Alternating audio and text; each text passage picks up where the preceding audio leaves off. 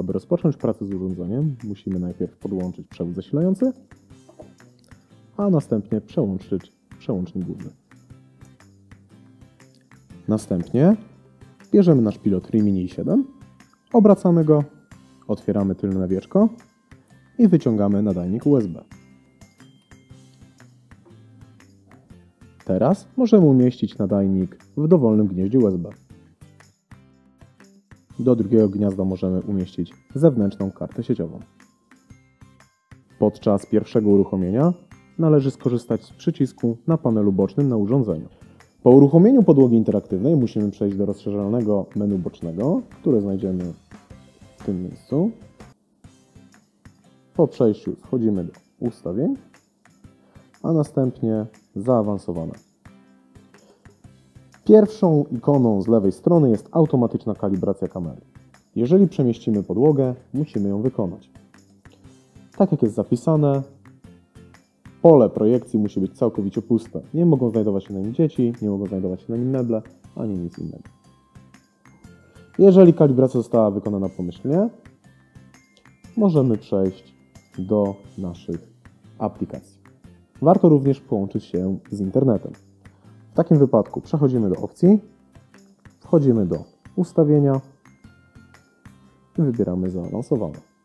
Następnie przechodzimy do sieć Wi-Fi, domyślne hasło 4.0 i klikamy uruchom.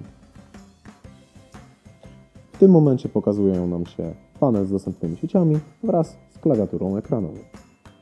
Każda aplikacja w interfejsie ma informację nad nazwą, czy jest ona na e, pisaki, czy jest ona obsługiwana ruchem. Przejdźmy do aplikacji ruchowych, na przykład pakiet mali odkrywcy, a następnie balony. Przy odpaleniu gra posiada krótką instrukcję wraz z możliwością wcześniejszego rozpoczęcia gry. Po wejściu mamy krótkie odliczanie, a następnie od dołu planszy w tej grze akurat lecą nam balony, w lewym górnym rogu mamy czas, w prawym górnym mamy wynik. W momencie, w którym wejdziemy sobie na balona, który już wyleciał, na przykład na tego, balon się zbija. Dochodzi nam wynik i możemy się bawić. Jeżeli będziemy skakać po balonach, wszystkie będą pękać. Przy wejściu do aplikacji związanej z ruchem, w prawym górnym rogu mamy informację o uruchomieniu playlisty. Umożliwia ona automatyczne przełączanie gier, dzięki czemu nie potrzeba osoby prowadzącej, która będzie musiała te gry przemieniać. Przy wejściu mamy informację o tym, jaki rodzaj gier chcemy wybrać, na przykład zabawy zespołowe i możemy włączyć pakiet. W momencie, w którym jesteśmy zainteresowani aplikacjami związanymi z pisakami, mamy taką informację nad nazwą pakietu, czyli tutaj widzimy pisak. Niektóre pakiety oferują możliwość włączenia obszarów roboczych. Znajdują się one w prawym górnym rogu. Mamy możliwość włączenia ilość obszarów pracy, na przykład 3. I następnie możemy włączyć kółko i krzyżyk, mobi oraz młynek dla trójki dzieci. Samo wybranie rodzaju interakcji możemy wybrać jeszcze przed wyborem konkretnego pakietu.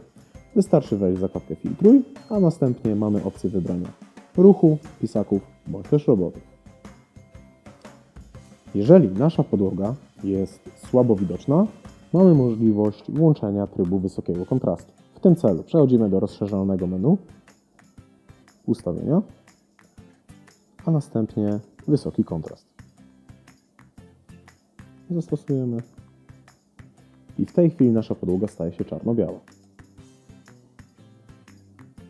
Aby uruchomić funkcję pilota mobilnego, przechodzimy do rozszerzonego menu bocznego, następnie przechodzimy do ustawień i wchodzimy do pilot mobilny.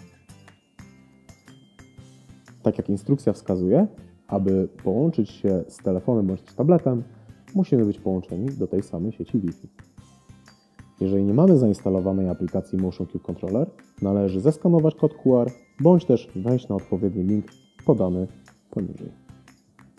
Po pobraniu aplikacji i zalogowaniu się do tej samej sieci Wi-Fi klikamy na podłodze interaktywnej Połącz automatycznie w tym samym czasie, w którym mamy włączoną aplikację na telefonie. Jeżeli mamy nieaktualną wersję oprogramowania, w lewym górnym rogu będziemy mieli odpowiednią informację o tym świadczącą. W takim wypadku musimy przejść do rozszerzonego menu, a następnie do powiadomienia. W tym miejscu będziemy mieli odpowiednią informację świadczącą o nieaktualnej wersji systemu. Jeżeli chcemy mieć możliwość sterowania podłogą interaktywną przy pomocy pisaków interaktywnych, a nie tylko pilota i mini, musimy przejść do rozszerzonego paska bocznego, następnie ustawienia i opcja sterowanie pisakami. W dowolnym momencie możemy również przejść do rozszerzonego paska bocznego, aby przejść do centrum pomocy. W tym miejscu mamy najczęściej zadawane pytania, na które możemy udzielić odpowiedzi, takie jak brak reakcji na pisaki albo sterowanie za pomocą ruchu. W celu realizacji kodu zakupowego musimy przejść do rozszerzonego paska bocznego, następnie sklep z aplikacjami, moje zamówienia i w tym miejscu po prawej stronie znajduje się zrealizuj kod zakupowy. Po wpisaniu kodu możemy pobrać dodatkowe aplikacje. Wyłączyć urządzenie możemy na dwa sposoby. Pierwsze poprzez wybranie odpowiedniej opcji w menu, wyłącz urządzenie na samym dole, bądź też poprzez wykorzystanie przycisku na pilocie w lewym górnym rogu. Po rozpoczęciu wyłączania będziemy mieli informację o zamykaniu systemu. W dowolnym momencie możemy ją przerwać, jeżeli było to wciśnięcie przypadkowe. Należy pamiętać, że nie należy wyłączać urządzenia poprzez przycisk boczny znajdujący się na obudowie. To tyle, jeżeli chodzi o podłogę interaktywną SmartFloor. Zachęcamy do kontaktu.